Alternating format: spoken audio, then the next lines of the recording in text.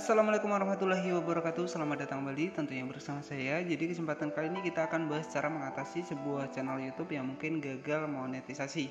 Oke jadi untuk uh, fitur monetisasi sendiri itu kita harus memiliki sekitar 1000 subscriber dan 4000 jam tayang ya ketika teman-teman uh, mengalami kegagalan. Nah jadi teman-teman bisa dicek kembali ya. Jadi teman-teman bisa dicek kembali apakah ada yang uh, reupload ya. Jadi saya sarankan buat teman-teman semua yang mungkin masih pemula ya jadi sama ya seperti saya saya juga pemula juga tetapi uh, pernah mengajukan ulang juga untuk di uh, monetisasinya. Nah jadi syarat yang pertama adalah teman-teman jangan reupload ya. Jadi teman-teman harus mengedit reel menggunakan video sendiri kemudian misalkan suara sendiri ya. Kemudian tampilan musik biasanya itu yang mempengaruhi teman-teman ya.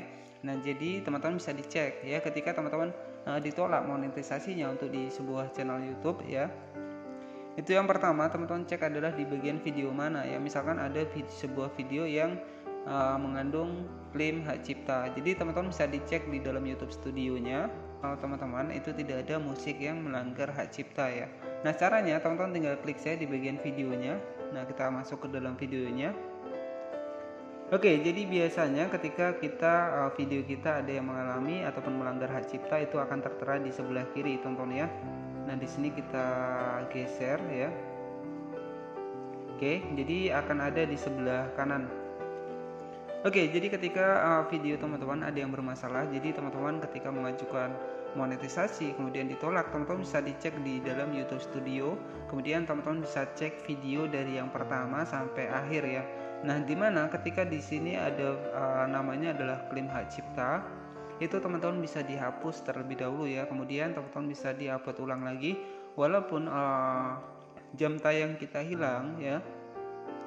Tetapi untuk uh, ke depannya channel kita akan tetap aman. Nah jadi jika teman-teman mungkin ada yang uh, mendapatkan klaim hak cipta ataupun thumbnail ya biasanya seperti itu teman-teman ya. Jadi teman-teman bisa diubah terlebih dahulu ataupun teman-teman bisa dihapus untuk video yang bermasalah ya agar uh, channel teman-teman ke depannya bisa diterima. Dan pastinya itu real ya menggunakan video asli video buatan kita sendiri. Jangan uh, mengambil dari video-video lain misalkan dari TikTok ya. Nah seperti itu ya teman-teman. Jadi jika teman-teman sudah dimonetisasi nah itu baru teman-teman bisa ya mengambil dari uh, video TikTok ya ataupun video snack video ya.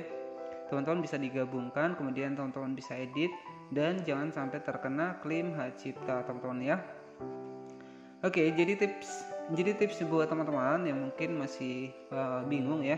Jadi uh, saran saya ketika kita memang ingin membuat sebuah channel YouTube pastikan untuk di awal jangan ada yang reupload ya. Jadi pastikan harus real buatan video kita sendiri. Tetapi ketika sudah kita sudah diterima, ya tidak masalah kita tambahkan misalkan uh, sedikit-sedikit yang reupload tidak masalah ketika kita sudah diterima tetapi ketika kita belum diterima di situ teman-teman jangan uh, reupload ya agar video kita tetap bisa diterima di uh, program partner YouTube ya. Nah, Oke, okay, tetapi banyak sekali yang uh, misalkan dia reupload tetapi dia uh, diterima di Google AdSense, diterima di partner YouTube, biasanya itu yang uh, sudah gimana ya, teman-teman. Jadi yang sudah memahami ya, biasanya seperti itu. Nah, jadi biasanya ada yang reupload tetapi diterima menjadi program partner YouTube. Nah, itu biasanya yang sudah senior teman ya.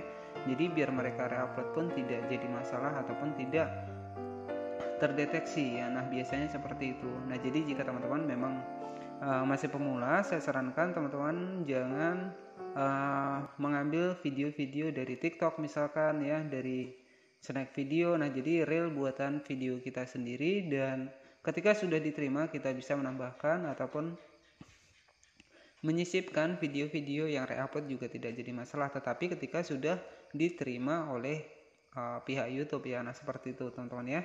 Oke, jadi cukup seperti itu saja untuk cara mengatasinya. Untuk uh, cara mengatasi yang gagal dimonetisasi untuk sebuah channel YouTube-nya, teman-teman ya.